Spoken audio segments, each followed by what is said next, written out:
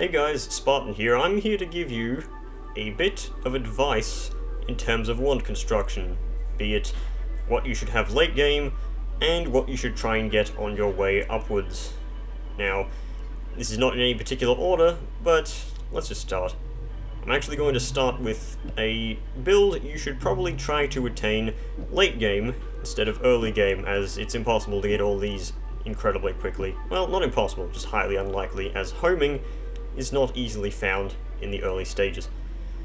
So what you're going to need is a spell with the trigger homing, a damage modifier of some sort, be it damage up, heavy shot, damaging aura, electric field, those types of things. And you want to tie it all before you get a cloud of some sort. I recommend sludge, or slime, whatever you want to call it. No, not sludge, sludge is toxic. Slime because it is the least deadly to you. As you can see here, the cloud stays around for a long time, so there's plenty of opportunity to deal damage to things, despite it having a default damage stat of zero. And it's because damage field is just that good. So, well, not damage field, just any of these. Now, if you combine drilling shot with this, it becomes pretty much impossible for the good old cloud to get stuck on anything, since it goes through enemies like Pierce already, and it'll just drill through the ground and kill every enemy in a nice big fat radius. So a great use of this is, you can see, me killing this spider over here, then going to kill these two horrid leaper enemies that I nobody even really cares about, just free gold at this point.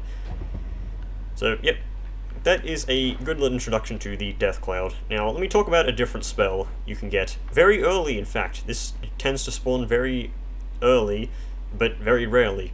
Circle of Stillness. It creates a circle of freezing magic, which freezes enemies and certain liquids completely solid. Now, this doesn't seem like too good of a spell, considering the fact that, you know, the only thing it seems to be freezing is my computer. But it has a lot of uses, mostly with dealing with enemies, but yeah, it's also good for destroying lava.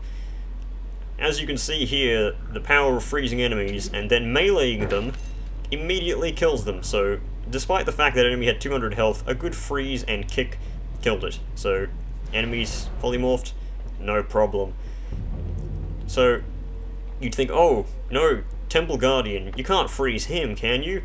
Actually, you can, and freezing and kicking him is a surprisingly easy way to kill him, as he will not gain abilities later on in the game to like counter this or anything, so you can use this for pretty much the entire game as long as you have Circle of Stillness in your back pocket. Now, a more reasonable application of the freezing effect, considering the fact you won't be able to kick every single enemy to death when they're frozen, is to attach a freeze charge to a tentacle. Freeze charge is pretty much just Circle of Stillness as a modifier.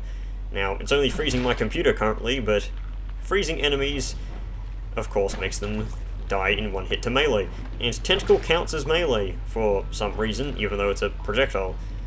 So let's have a little bit of a demonstration here to prove that I'm not full of garbage, and yep, Steve the Temple Guardian just commits I don't feel so good and turns to dust in front of you.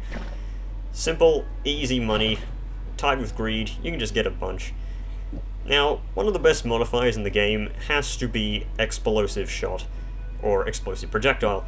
What it does is, it's very self-explanatory. It creates an explosion when your projectile hits something, or the time of your projectile runs out. And it's quite good, considering the fact that it has only one downside, considering it's so cheap, and that is that the projectile flies a fair bit slower. As you can see, this magic bolt is going at a snail's pace. Tying three to it is probably not going to be a good idea. However, the explosives are additive, meaning that adding three will of course create a huge, well, huge for a little tiny bolt. A huge explosion. That does quite a fair bit of damage. Also, you can negate this by using a speed up power on it. So, one of these wands can easily take you through late game if you have a sort of homing, but if you don't have homing, you could try Lightning Bolt with this.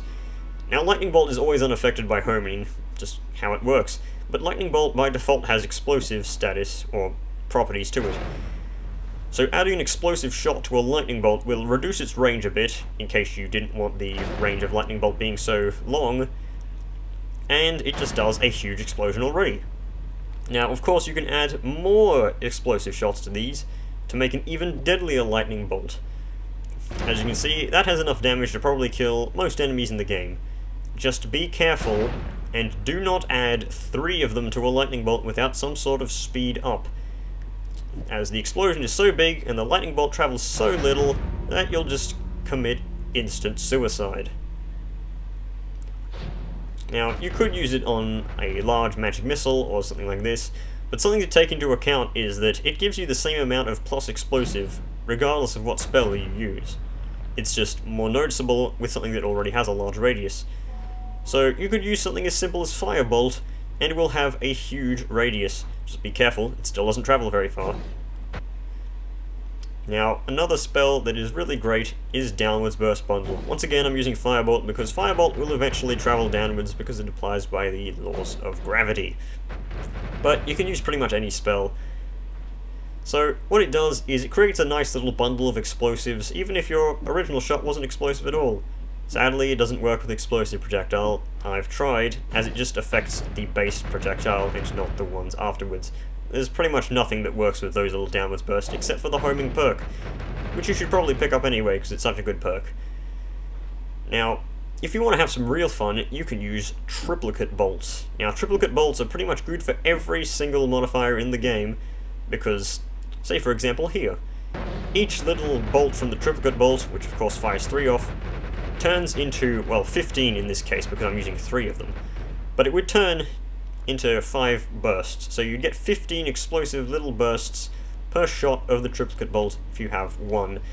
So, as you can see by stacking them, you can create a complete carpet bomb, and you could probably one-shot the final boss. Well, as long as you haven't collected too many orbs, that is.